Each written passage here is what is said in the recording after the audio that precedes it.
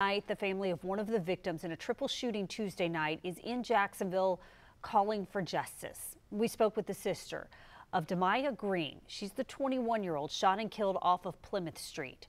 Her sister says De'Mya was a fun, energetic person who had a passion for cosmetology, cosmetology, cosmetology, I should say. She says the family is in shock.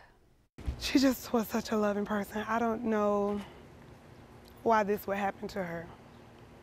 And whoever did it, they should be ashamed to take a innocent 21 year old life like that. Like you had no remorse. De'Mya was one of three people shot that night. The two other victims are said to be doing okay. The Jacksonville Sheriff's Office is continuing to investigate, but initially told us that there were several people at the scene that night when an argument started and someone fired a gun.